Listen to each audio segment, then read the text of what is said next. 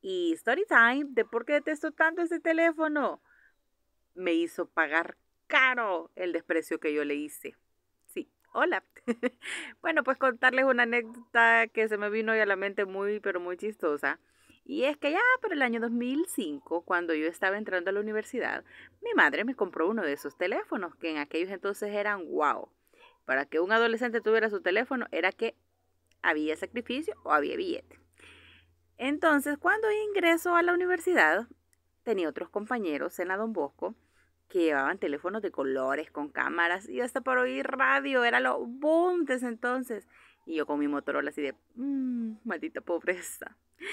Entonces, por más que lo aventaba de la grada de la Don Bosco, no se arruinaba. Pasé intentando matarlo por más de tres meses, hasta que un día salimos de paseo lejísimos a visitar a mis bisabuelos, con mis abuelos, y veníamos ya rumbo a la casa y se me ocurre la brillante idea de dejarlo perdido en el micro, porque así el teléfono desaparecía y me tenía que comprar otro. En mi mundo de ilusiones. bueno, pues que lo pierdo y cuando nos subimos al otro bus rumbo a la casa, mis abuelos me piden la hora y yo de, ¿y se perdió? Se perdió. Y mis abuelos con cara de, ay, ajá, hay que tu nana te pegue cuando llegues a la casa.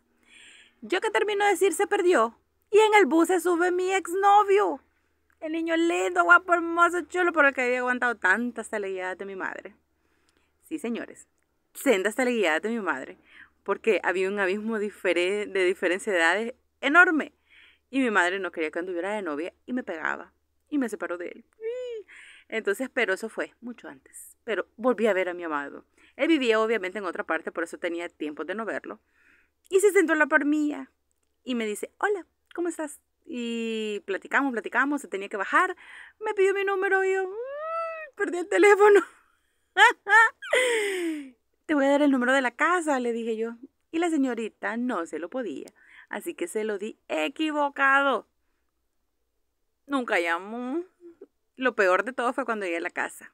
Mi madre no me creyó y me dijo que me iba a dar una senda sin chaseada por bayunca por andar perdiendo el teléfono y que si quería teléfono de colores, pues que comprara, que trabajara y me lo comprara. Que ella no me iba a comprar más teléfono y ahí iba a andar incomunicada con mis cheros, sin mi teléfono fellito, sin esa tontera. Sí, trabajé, me compré uno de colores, pero no sé si me dolió más la cinchaseada o que ya no volví a ver al bicho. Así que detesto, detesto ese teléfono. Y estoy grabando desde mi Motorola. Salud. Cuiden su teléfono.